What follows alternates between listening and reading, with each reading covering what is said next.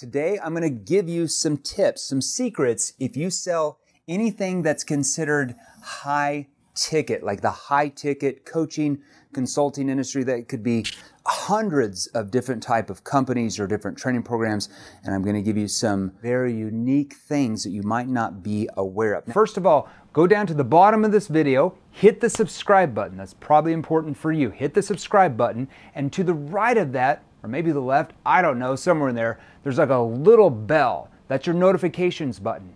Hit the notifications button as well so you get notified by YouTube every time I post a new training video, which I typically do two to four times a week. Now, the first thing that we have to understand when you're selling in the high ticket space, products that are anywhere from the low end of, let's say, 2K all the way, uh, you know, to maybe 30 to, you know, 50 to even 100K, I would say the average ticket is probably about 10 to, let's say, 20K, somewhere in that range. You really have to, to build a gap. Now, what do I mean by building a gap?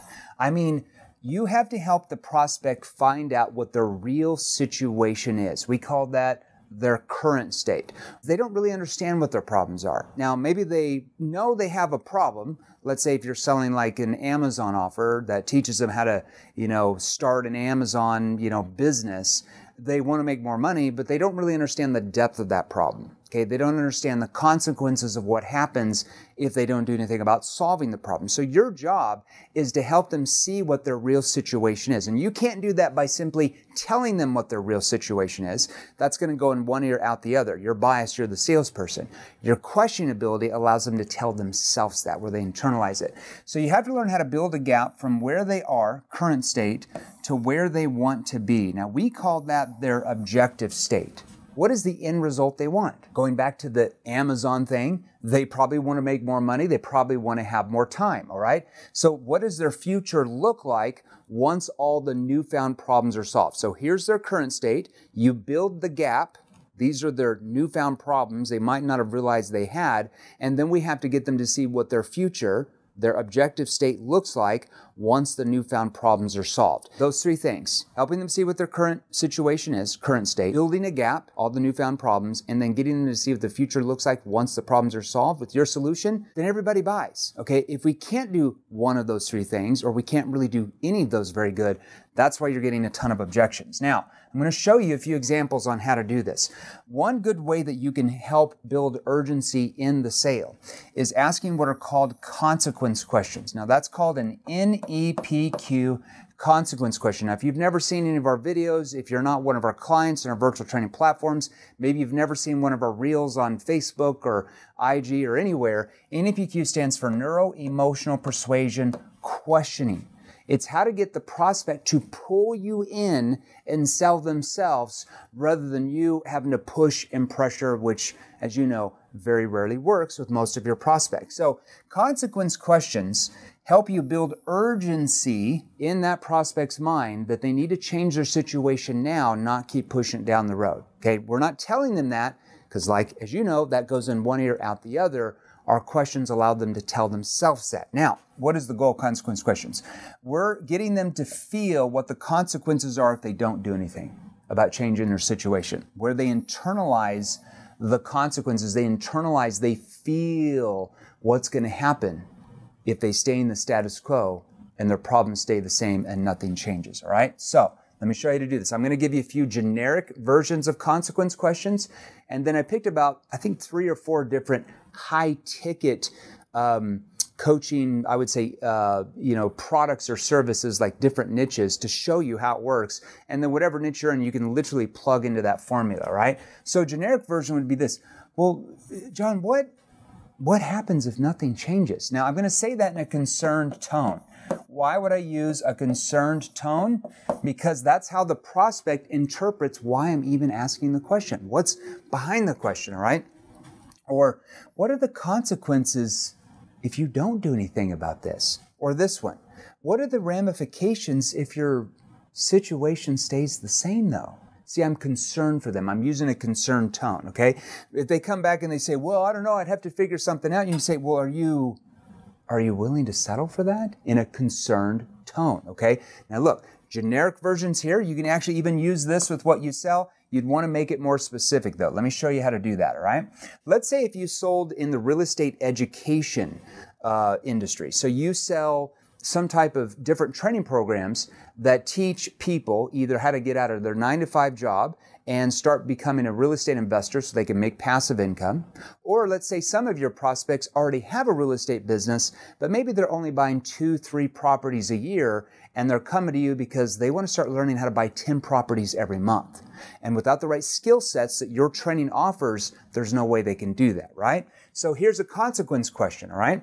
Let's say that in that conversation you've had with them, they've told you that they're losing a lot of deals because they don't have access to capital. So whatever problems, their main problems they've told you in that conversation from your questioning, you're going to customize the consequence question to that because it makes them feel like you actually understand their unique situation. You don't want to make that cookie cutter or generic. Okay, but what happens if you, now I want you to pay attention to my tone because with consequence questions, you're going to start off with a skeptical tone to raise their emotions, and then you're going to end that with more of a concern tone.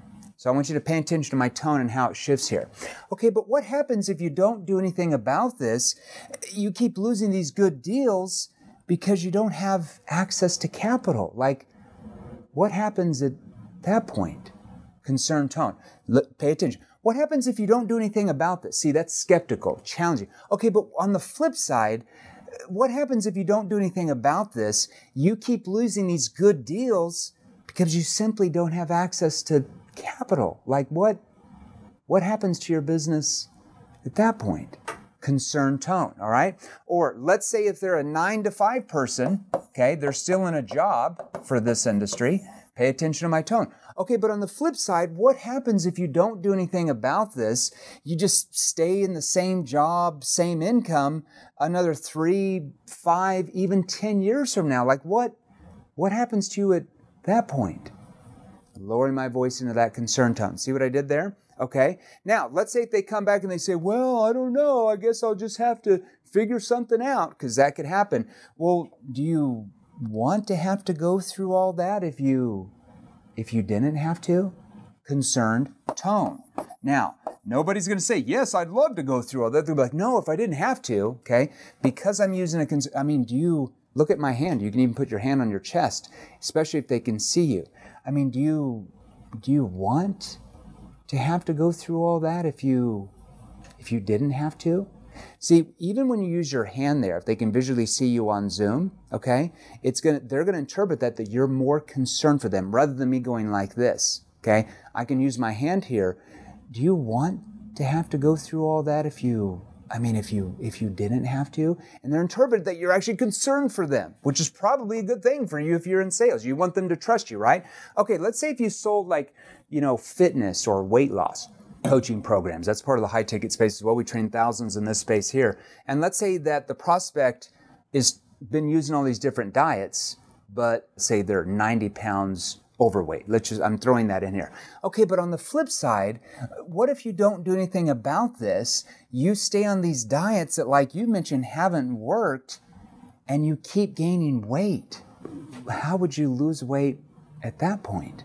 See, concern tone. Now, if they come back and say, well, I don't know, I just have to figure something out, you can also use this. Well, are you, are you willing to settle for that? Well, no, I mean, well, if I have to, I, I, you know, I don't know what, well, if I have to, I would. You can say, well, whose choice is it if you settle or not? Or whose choice is it if you don't lose the weight? Right? See, concern tone. Okay, here's another version of that. Let's say in this example, they, they're on the call with you or on Zoom with you because they, they say they're 135 pounds overweight. They're in their late 40s and they feel like if they don't start losing this weight, they might not be around 10 years from that point to walk his two daughters down the aisle at their wedding, right? Because if they're way overweight, could cause strokes, heart attacks, as you know, right? Big problems. Okay, but on the flip side, John, what if you don't do anything about this? You don't lose 135 pounds how would you be able to live long enough to walk both of your daughters down the aisle? Concerned tone. How would you at that point be able to live long enough to be around to walk them down the aisle? Concerned tone. Okay? That causes the prospect to feel like you understand their situation, that you actually care about them, okay? That causes emotional attachment with you. Probably a good thing for you as a salesperson to get your prospect to feel like they can trust you, right? How about if you sell dating coaching? Like if you, you're a coach that helps men find the woman of his dreams, or maybe he wants to go on a bunch of different dates, but he has a hard time talking to women at social scenes, something like that. Okay, but on the flip side, Josh, what if you don't do anything about this? You don't learn what to say and ask when you meet women socially that you want to date. What what are the consequences for you at that point? What if you don't do anything about this? You don't learn what to say and ask when you meet these women that you're really wanting to date. How will you ever be able to get married? Concern tone, okay? Okay, or you can simply, sometimes you can lean in and just be vague like this. What if you don't do anything about this? Concern tone. See, I can do that as well, all right? Let me give you another example here. Let's say if you sell like marriage or relationship coaching, okay? And their problems are they're fighting, they don't feel connected, uh, there's tension in the home with the kids, like all this kind of stuff. Their marriage is on the brink of destruction. Okay, but Sally, on the flip side, what happens to your marriage if you don't learn the necessary skill sets to stop the arguments, all the tension in the home, and both of you keep feeling disconnected? What would happen then? See, concern tone. All right? I start off skeptical. I want to raise their emotion, their emotional state, and I'm going to end with a concerned tone. Your tone helps control how the prospect reacts to you because they're interpreting what you're saying, the words you're saying, and what you're asking. They're interpreting your intention behind that by how your tone comes across. Okay, but on the flip side, what happens to your marriage, Cindy, if you don't learn the necessary skill sets to stop the arguments and then the tension in the home, and both you and your husband keep feeling disconnected? What would happen then? Okay, concern tone. All right? All right, hope those tips helped you. If you sell in the high ticket coaching space, I could actually show you about 12,000 other things and tips that you're going to need to understand if you want to start making 20 grand a month in that industry or 30 or 40 or 50, even 60, 80,000 plus per month in your industry. We are already training hundreds, if not thousands of people in your space who are making that amount of money every single month. When they first came to us, we're barely getting by. So if you want to acquire those skills, make sure you join our free Facebook group. We'll show you a little bit more in there. And then if you want to book with one of our account managers to get into our advanced training programs that are industry specific as well, just reach out to us in the Facebook group and we will see if we can help you. Hope that helped you today. Now, if you're wanting to learn how to sell more of your products and services than you are now, join our free Facebook group. Go to www.salesrevolution.pro. We should have a link on here somewhere salesrevolution.pro.